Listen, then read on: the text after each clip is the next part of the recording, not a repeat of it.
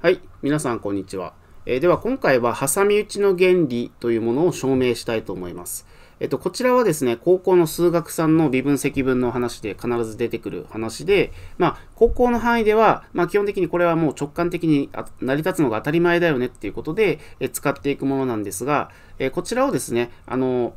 極限の定義をちょっと大学版にこう言い換えて、えそれに基づいてこちら証明することができます。えっと、じゃあ、えまず、挟み撃ちの原理、どんなものか確認していきたいと思うんですが、まあ、これは、えっと、AN、BN の間に CN というものがね、常にこう挟まれている状況ですね。どんな番号についてもこういう不等式が成り立っていて、でしかもこの AN、BN についてですね、えこれ両方とも、えー、アルファという値に、こっち書いてますけど、えー、アルファという値にどんどん近づいていくと。そうすると CN はもう常にこう挟まれてますから、えー、じゃあこの間に挟まれてる CN も、え、どんどんアルファに近づいていかないといけないよねっていう、そういう、え、ことで、まあ、これはまあ当たり前じゃんというふうになるわけですが、え、これを、まあ、え、極限の定義をですね、え大学版に言い換えて、これを実際示していきたいと思います。で、あの、なんでね、この当たり前なことをこんなわざわざやるのかっていうふうに思うかもしれないんですけど、えっと、極限の定義を大学版にこう、えー、書き換えておくっていうことは非常に重要で、あの、大学以降のね、えー、例えば収束の概念っていうのは、まあ、確点収束とか一応収束の違いをちょっと意識するとか、確点連続、一応連続とかね、まあ、収束にもいろいろあって、それをきちんと表現するためには、えー、こう極限の定義をね、はっきりと、えー、こう書く必要があるわけですね。まあ、そういった、え、理由があったりだとか、あとは、まあ、公式列っていう概念やるとわかるんですけど、えー、極限値をはっきり表に出さなくても、えー、こう収束してるっていうことがね、えー、こう保証するとか、そういったところでやっぱりこう極限の定義をちょっとアップデートする必要があるわけです。ということで、じゃあまずその極限の定義のアップデートをちょっとやっていきましょう。えっと、高校式の極限の定義、こんな風になっています。えこれは高校の数学さんの教科書からね、そのまま持ってきたんですけど、えっと、数列 AN において N を限りなく大きくするとき、AN が一定の値 α に近づくのならば、極数列は α に収束するというということですね。えこれこちら今数直線があったと思ってもらって、えっと、A1、A2、A3、A4 っていうね、えー、こう数列があるわけですけど、まあ、これがね、えー、N をどんどん、この添え字をどんどん大きくしていくと、A1、A2、A3、A4、A5 っていう形で、まあ、えー、どんどんどんどんこのアルファに近づいていきますよというような時に、これ、えー、この数列はアルファに収束するというふうに言うわけです。で、こちらの定義で、えー、この n を限りなく大きくしていくととか、えー、アルファに限りなく近づくとかっていうところが、まあ、ちょっとよく言われるんですが、これ曖昧さが残る部分なんですね。えー、n を限りなく大きくってどれぐらい大きくしたらいいのとか、あとは限りなく近づくってどれぐらい近づけばいいのとかね。まあ、そういったところがこれはっきり書かれていないので、まあ、それをちょっとね、アップデートしたものがこちらですね。これが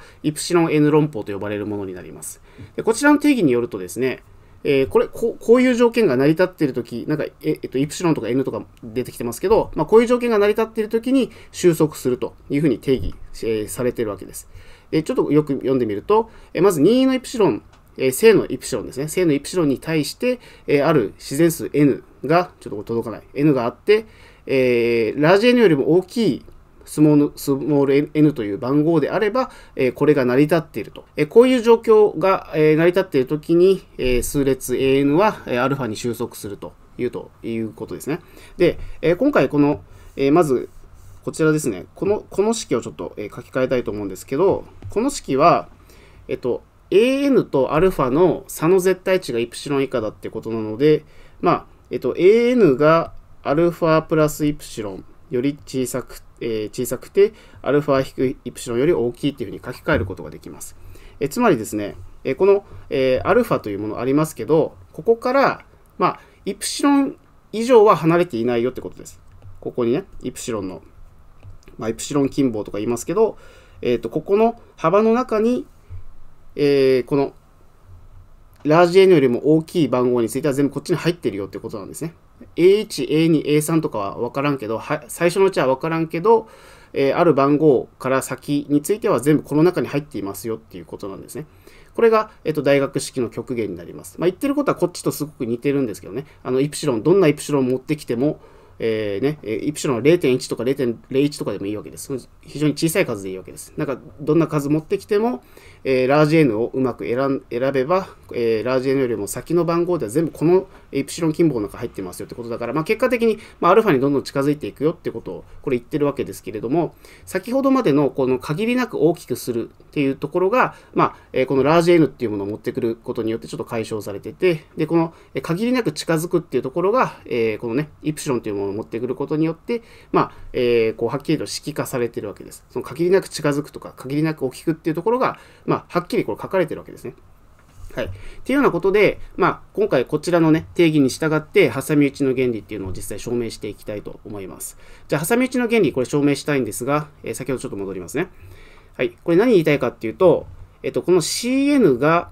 CN が収束してアルファになりますよと。CN の極限がアルファですよってことを言いたいわけです。で、これ何言えばいいかっていうと、2のイプシロンに対して、えなんか番号、え N があって、えその番号 N よりも先の、えものについては CN が全部ここに入っていますよということを言いたいわけです。ということで、じゃあこれ実際証明をやっていきましょう。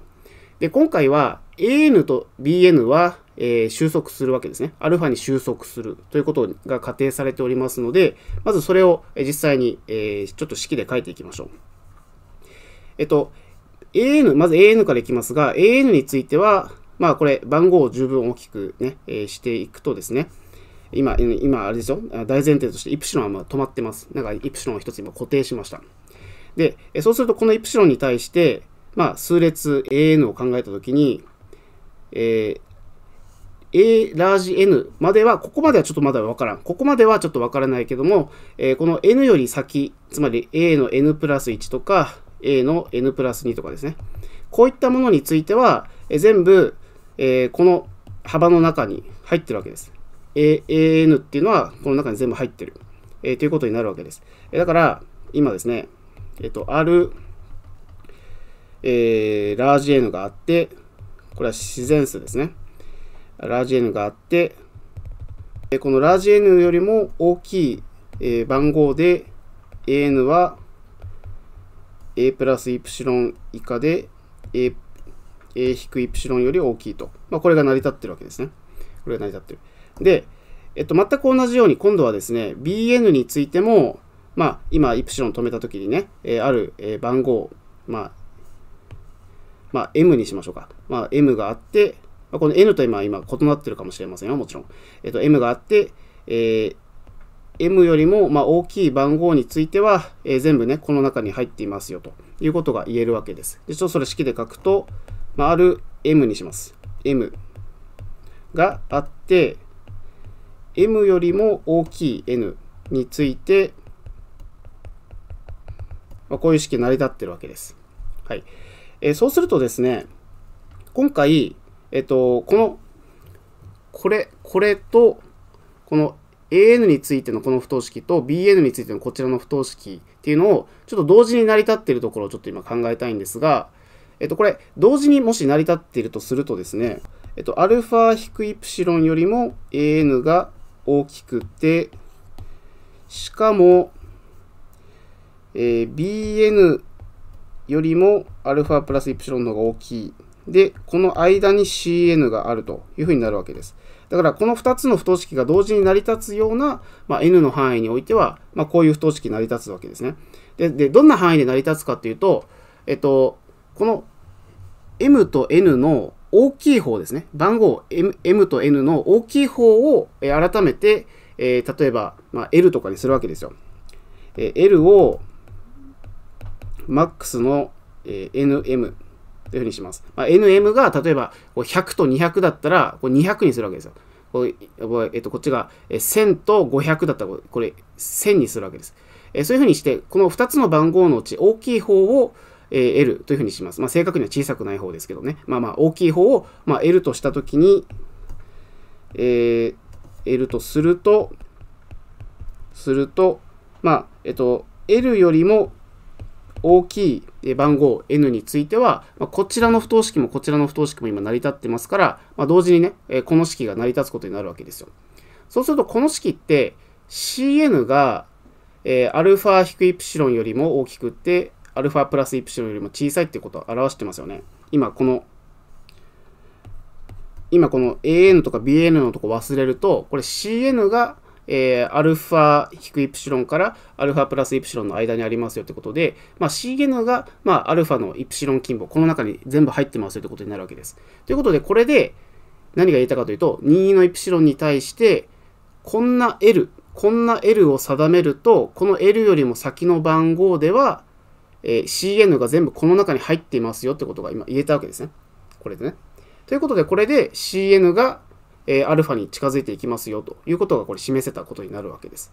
で、これ初めて見ると、なんかすごいまどろっこしい感じがして、なんか当たり前のことを難しくやってるじゃんというふうに感じるかもしれないんですが、まあ、これは何回も言うように、あのこんなような定義の仕方ね、えー、極限の定義の仕方をすることで、今後いろいろな難しい問題が出てきたときに、えー、これはっきりと証明することができるわけです。高校式のままだと、えー、限りなく近づくからっていうようなことでね、ちょっとこう気持ち悪さが残って、えまあ、場合によっては証明できなかったりするっていう問題もあるので、まあ、こういうのこういうような形でね、イプシロン N 論法を使って、え極限のね、えー、こう定理をいろいろ証明していくということになるわけです。